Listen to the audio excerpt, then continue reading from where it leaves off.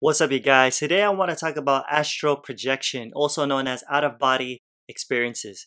Give a brief idea what it is and how you can experience it, possibly even today, if that's something that you'd want to do.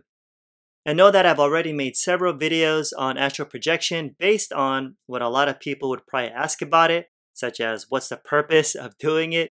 Is it dangerous or demonic? What about sleep paralysis, etc. So Check those out because I'm not going to repeat them here. Okay, so what exactly is astral projection or an out of body experience? Well, it depends. It depends who you're talking to because it's such an interesting phenomenon that people, depending on their background or experience, explain it in different ways. So some say it's when your spirit or the real you comes out and leaves your physical body, especially because of the sensations that you feel when it's happening it seems to suggest that there's some sort of separation going on. But for the sake of simplicity, an out of body experience or astral projection is when you perceive your awareness outside your physical body and being fully conscious, though, like how you're fully awake right now watching this video. And for the most part, you're able to go through solid objects, travel to distant locations, including other dimensions. Not to say that that stuff can happen here, but that's for another video. And keep in mind, folks, especially to those who think that this stuff is bad and dangerous, the thing is, we all go out of body all the time. Pretty much every night or whenever we go to sleep. We just don't remember it. That's why I wouldn't be too quick to judge it as a bad thing. You know what I'm saying? And other than it being associated with sleep, I mean, OBEs also happen during traumatic or extreme events like accidents or when people are sick and dying but to have one that's self induced, one that you can plan and control, now that's something that you got to learn. And I remember back in the day, whenever I'd hear about these amazing and transformative near death experiences, you know, that people would have, I'd be like, dude, I want to experience those things too, just not the near death part. then when I finally learned how, and as I mentioned in my other videos, I started having them regularly, several times a month, a few times a week, and even several times in one day. You know, I just don't share them all online. And they've definitely been eye opening. And it seems like 3D language just can't fully express what's experienced in these higher planes of reality, these higher dimensions for real. And just a heads up, you know, can everyone have a fully conscious out of body experience? Yes, absolutely. But the question is should everyone try to have an out of body experience? And in my opinion, no. It depends.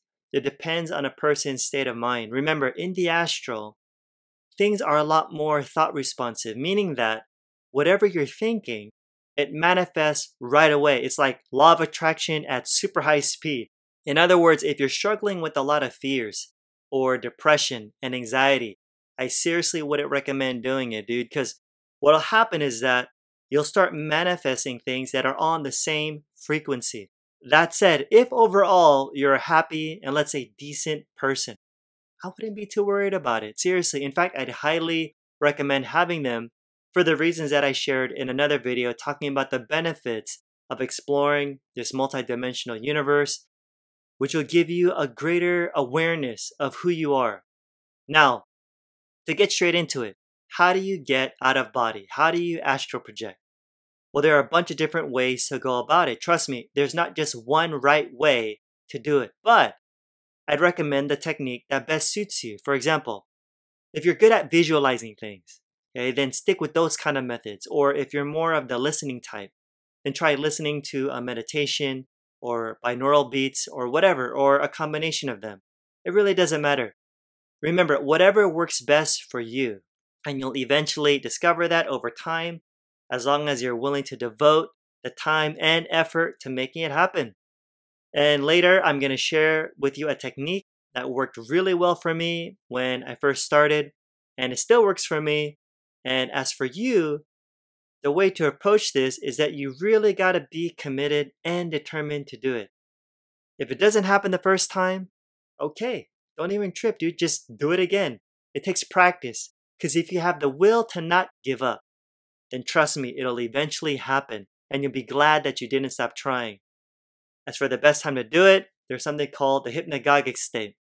And it's a transitional state that we all pass through every day, briefly whenever we go to sleep and whenever we wake up. It's the in between state, the dreamlike state, where we're half asleep and half awake.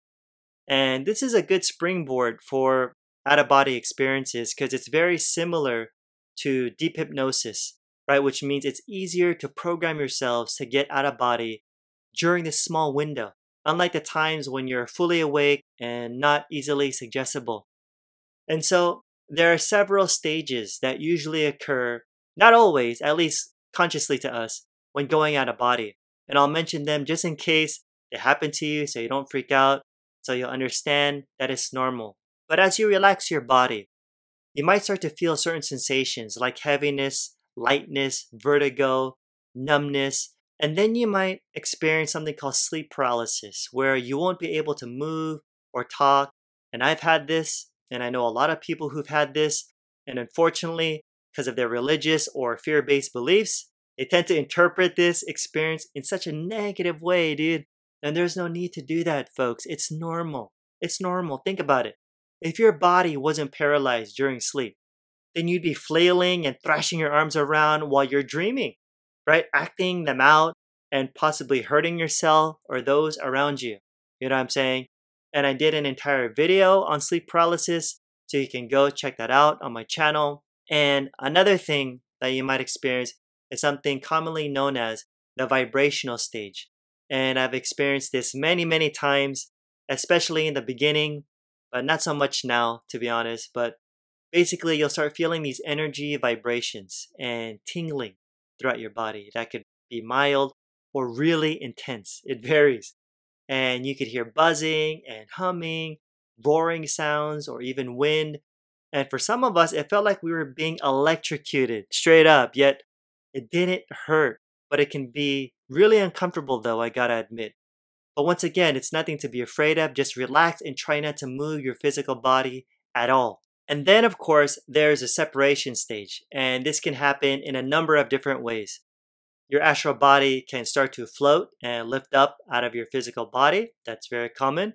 You might roll out or just sit up or even have a sinking feeling where I remember falling through my bed or times where certain parts of my astral body would pop out one at a time, like my arm or my leg, instead of my entire body all at once.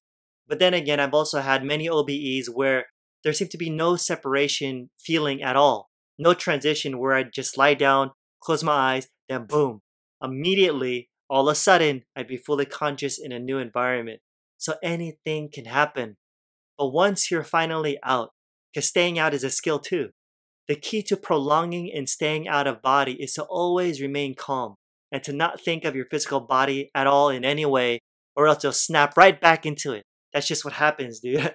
And it's funny because so many people are worried that they might get stuck in the astral, when in reality, it's the exact opposite. It's actually harder to stay out than it is to come back, especially because we supposedly have a silver cord attached from our astral body to our physical body. And so there's seriously no need to worry about not coming back, you guys, really. Now, as for the technique, like I've said, Use whatever method you think would work best for you based on how you're wired. As for me, I've tried so many different techniques in the beginning, but it just wasn't happening. And it wasn't until I stumbled upon William Buhlman's work, which I highly recommend, by the way, where I discovered a technique that worked so well and was so effective for me that I'd like to share it with you guys right now. And it's called the target technique. The target technique. And remember, it's best to do this when you're in a relaxed, or better yet, the hypnagogic state, the state where you're half asleep and half awake, right? And so the technique basically goes like this pick a person, place, or object located some distance to you, something or someone easy for you to visualize, and make sure it's something real and not imaginary. And also, it helps if it has some special meaning for you where you're emotionally involved. And it can be your favorite chair, or a painting, or sculpture, flowers, whatever. And for the next part, and you don't have to do this, but if the object is within range, in close proximity, examine every detail of it, right? Memorize the sight and texture, the smell, colors, weight, everything. But of course, if your target is far away, it can still work because my target was outside of my home.